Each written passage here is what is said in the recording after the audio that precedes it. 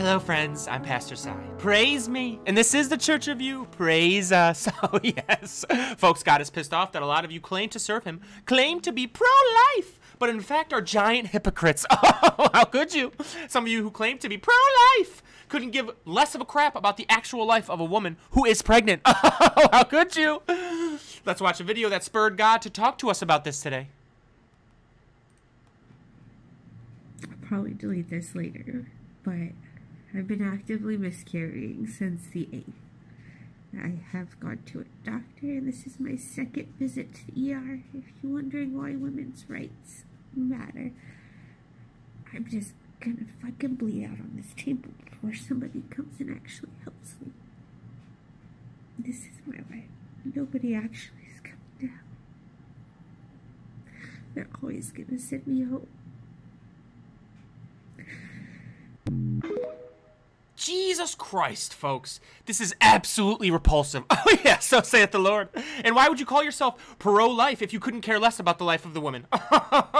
if you are pro life and don't consider all the life that is, what does that make you? What does that make you, huh? that makes you garbage. Yes, praise the Lord.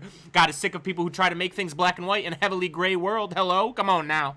There are so many things that can make a situation what it is. Life is complicated. Anything that makes you think 100% in black and white makes you ignorant. So saith the Lord. He's so true, so right, so wise. Oh, yes. So, God wonders if you are the ignorant scumbag who thinks abortion should be illegal in all cases, including a miscarriage that endangers the life of a woman. What's your motivation, huh? God wonders. What's your motivation? Is your motivation actually pro life? Is it? Is it? I don't think so. No. You Christian nationalists are absolutely scum. Your goal is to make us all live like you want us to. What kind of freedom is that? That's trash.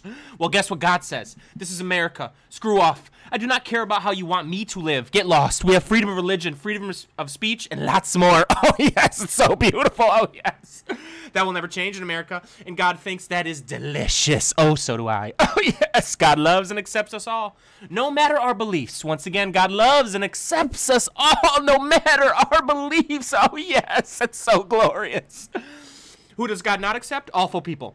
And if you are a person who is pro life but don't actually care about the mother as well, God loathes you. Loathes you. Sounds like you're going to be burning for a little crispy thing in the afterlife. Oh, yes.